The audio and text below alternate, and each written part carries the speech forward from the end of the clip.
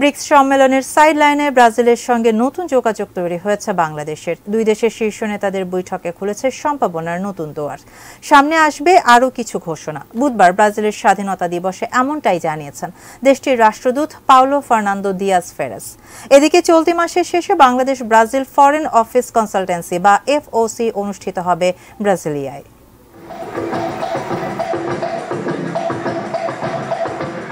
বিশ্ব ফুটবলের নন্দিত দল ব্রাজিল। ফুটবল দিয়ে যে ভালোবাসা, সেটার সঙ্গেই কখন যেন মিশে গেছে দেশটির ঐতিহ্যবাহী নৃত্য সাম্বা।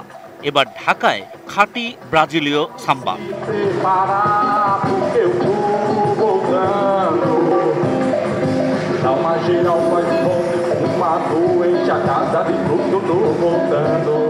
উপলক্ষ দেশটির দুশো একতম স্বাধীনতা দিবস।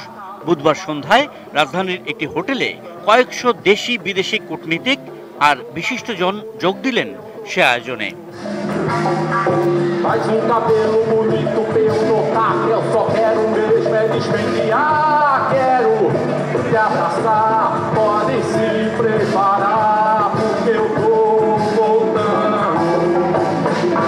Enquanto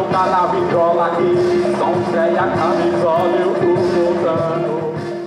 ঢাকায় নিযুক্ত ব্রাজিলের রাষ্ট্রদূত বললেন যতটা সুযোগ ছিল ততটা সম্পর্ক এগুতে পারেনি দুই দেশের তবে সম্প্রতি ব্যবসায়ীদের মধ্যে যোগাযোগ বেড়েছে ব্রিক্স সম্মেলনে ব্রাজিলের প্রেসিডেন্টের সঙ্গে বাংলাদেশের প্রধানমন্ত্রীর বৈঠকে এসেছে কাঠামোগত উন্নয়ন ও প্রযুক্তি খাতে সম্পর্ক তৈরির সুযোগও.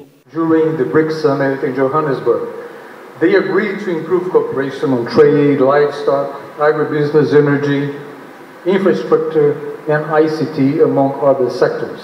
ব্রাজিলে ওষুধের বাজার খুঁজছে বাংলাদেশের কয়েকটি ফার্মাসিউটিক্যালস কোম্পানি আলোচনায় আছে চিকিৎসক এবং নার্সদের কাজের সুযোগ এবং কৃষিক্ষেত্রে বিনিময় সহ নানান কিছু। প্রধান অতিথির বক্তব্যে স্বাস্থ্যমন্ত্রী তাগিদ দিলেন সেসব সম্ভাবনাকে বাস্তব করতে।